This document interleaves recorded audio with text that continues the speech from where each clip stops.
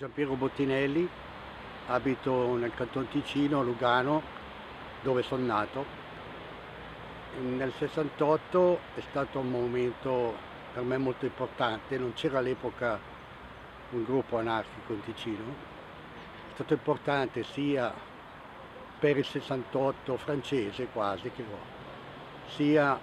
per quello che è successo a Pinelli e Valpreda. Eh, all'epoca facevo parte di un gruppo, di un movimento, si chiamava Movimento di Opposizione Politica, che era un movimento della sinistra socialista e cattolica di sinistra, eh, ero nel gruppo antimilitarista,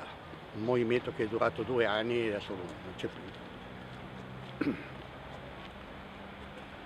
È stato importante per, che, per la conoscenza anche che esistevano anche gli anarchici in un certo senso, ecco, nel 68. Era una cosa che mi aveva un po' stupito, eh, in un certo senso, perché non avevo avuto mh, letteratura particolare in quel momento. Ero anche in un ambiente completamente eh, bancario, è la mia formazione iniziale, e questo però tutto, tutto la guerra del Vietnam, eccetera, mi ha, mi ha veramente sconvolto un po' tutta la mia vita, tanto che eh, nel 70 sono poi andato a Losanna mm, per, eh, per, frequentare una scuola di assistente sociale. E nel 70, ecco, posso dire dal 69, ho cominciato a leggere ecco, la letteratura anche eh, italiana, eh, giornali, in particolare io mi ricordo che non era un giornale anarchico, che era l'Espresso, che aveva un altro genere di formato, era un formato molto grande, dove eh, comunque eh, comunicavano eh, tutte le faccende in Italia di Pinelli e, e poi di Valpreda. ecco, era il giornale che forse leggevo abbastanza regolarmente, anzi regolarmente. Nel 70 poi sono andato a Losanna e, eh, per gli studi e, e, lì sono andato, ho frequentato immediatamente il SIRA di Losanna, eh, il quale eh, all'epoca era animato da Marie-Christine Mikhailov, o Mikhailov, eh, che è la mamma di Marianne. E eh, ecco, ho frequentato per tre anni regolarmente questo SIRA con la possibilità di ehm, di approfondire le mie conoscenze sull'anarchismo, nel quale mi ritrovavo completamente. Nel 71 ero andato a fare in giro in Italia con, con mia moglie e ehm, ho fatto un po' il giro dell'Italia per turismo, tra virgolette, in tenda e ero andato a, a, a Carrara dove ho conosciuto Failla e le due figlie, le due gemelle, Gemma e Aurora. E poi ero andato a, a Pistoia eh, per, eh, avevo l'indirizzo, per eh, conoscere l'Aurelio Chessa, il quale eh,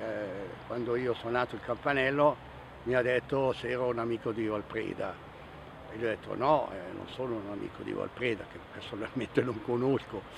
e avevo un piccolo lasciapassare della Marie-Christine Mikhailov, la quale mi diceva che era un amico, un compagno, queste belle cose. E allora lui mi ha lasciato entrare, poi abbiamo discusso, mi ha tenuto a dormire, eh, ecco,